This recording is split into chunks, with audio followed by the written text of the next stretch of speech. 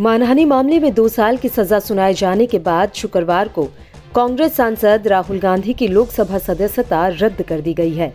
राहुल की सदस्यता रद्द होने के बाद कांग्रेस पार्टी ने पीएम मोदी और बीजेपी के खिलाफ मोर्चा खोल दिया है।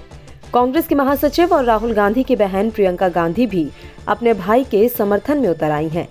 उन्होंने पीएम मोदी को टैग करते हुए एक के बाद एक कई ट्वीट किए।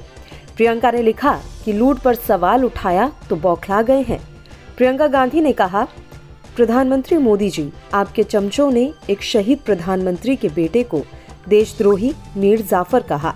आपके एक मुख्यमंत्री ने सवाल उठाया कि राहुल गांधी का पिता कौन है। कश्मीरी पंडितों के रिवाज निभाते हुए एक बेटा पिता की मृत्यु के बाद पगड़ी पहनता है, अपने परिवार की परंपरा कायम रखता है।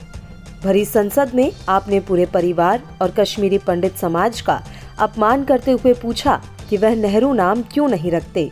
लेकिन आपको किसी जज ने दो साल की सजा नहीं दी। आपको संसद से डिस्क्वालीफाई नहीं किया। राहुल जी ने एक सच्चे देशभक्त की तरह अडानी की लूट पर सवाल उठाया।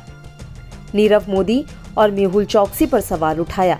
क्या आपका मित्र गौतम अडानी देश की संसद और भारत की महान जनता से बड़ा हो गया है?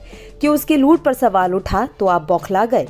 आप मेरे परिवार को परिवारवादी कहते हैं। जान लीजिए इस परिवार ने भारत के लोकतंत्र को अपने खून से सींचा, जिसे आप खत्म करने में लगे हैं।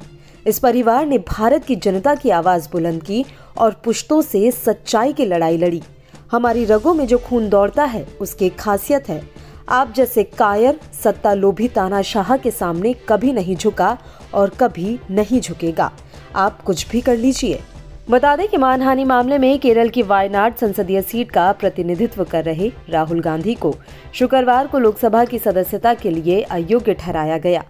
लोकसभा चुनाव के दौरान रांची के मोराबादी मैदान में रैली को संबोधित करते हुए राहुल गांधी ने कहा था कि सभी मोदी नाम वाले चोर होते हैं। इसके अलावा महाराष्ट्र के नांदेड़ में एक चुनावी जनसभा में कांग्रेस अध्यक्ष राहुल गांधी ने कहा था कि मुझे एक बात बताएँ, नीरव मोदी ललित मोदी, नरेंद्र मोदी, सभी के नाम में मोदी कैसे है?